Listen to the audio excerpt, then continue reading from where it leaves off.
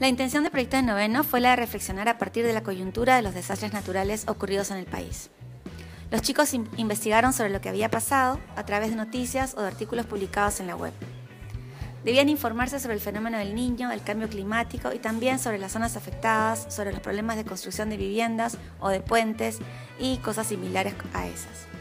Recibieron la visita de expertos, Muchos padres de familia también nos acompañaron, desde escritores, artistas plásticos, bailarines y actores. Todos plantearon su relación con el arte y sus experiencias como creadores. La investigación es fundamental en los proyectos. Sí, pero pasa todos los años simplemente. Eso va, eso va a seguir siendo algo que va a pasar así o sí. Porque no están preparados aún para, para un terremoto así de fuerte. Bastantes zonas de Junín también se inundaron debían estar al tanto artistas que utilizaran la obra de arte como vehículo de reflexión o de protesta.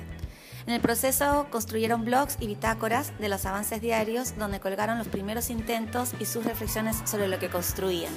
Los chicos se decidieron por lo plástico y lo teatral. Trabajaron desde técnicas para impresión en telas, trabajos con material reciclado y otros investigaron los principios claves para construir una obra teatral. Hubo un proceso de selección de los mejores trabajos para exponer o para ser representados.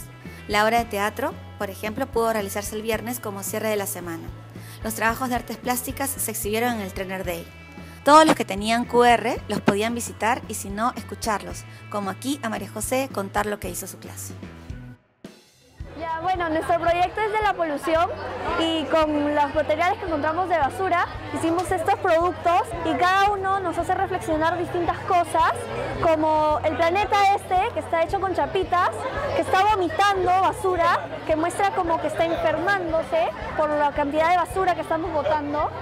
Este, que es un reloj de arena, que muestra que la naturaleza está quedándose sin tiempo porque todos lo estamos pasando a tecnología, a contaminación y polución, ¿no? Después ahí tenemos eh, una ola de mar que está llena de basura porque representa que la, basura que botamos termina la mayoría en el mar y esto termina afectando a muchos animales, dejándolos sin vida la mayoría y pues es bastante preocupante. Y después tenemos el mapa que nos muestra la cantidad de polución que hay por, lugares del mundo, ¿no? El rojo siendo muy contaminado, amarillo más o menos y verde relativamente bien, ¿no? Y como podemos ver hay muy poco verde, lo cual es bastante preocupante. Y tenemos el eslogan de las tres R's para hacer reflexionar a las personas de que reciclen, reusen y reducen, reducen las contaminaciones, ¿no?